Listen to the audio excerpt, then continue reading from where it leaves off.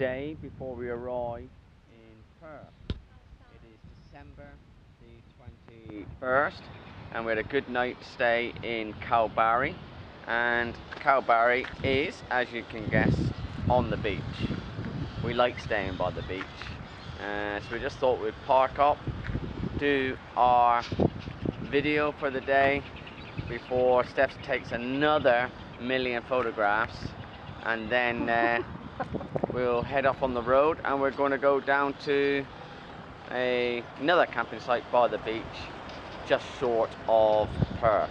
And when I say just short, about 240 k's. Until then, over oh, I've got to tell you, I've designed a new set of glasses. if it's only sunny on your right hand side, I really don't see the need to have both lenses on.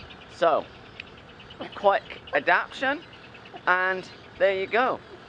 It's just on the right hand side. There's just no need to be carrying all that weight on your head. Okay, over and out. Bye-bye. Bye.